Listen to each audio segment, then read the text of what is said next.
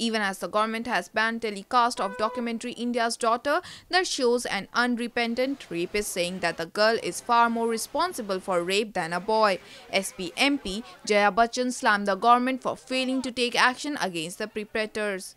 दो साल हो गए हैं इस केस को त्यागी जी हाउस में लेके आए हैं मैंने उस दिन के बाद इस बात के ऊपर कोई टिप्पणी नहीं की मगर मुझे बड़ा दुख हो रहा है इन्होंने जो किया ये भी वही कर रहे हैं आप क्या का मतलब क्या है?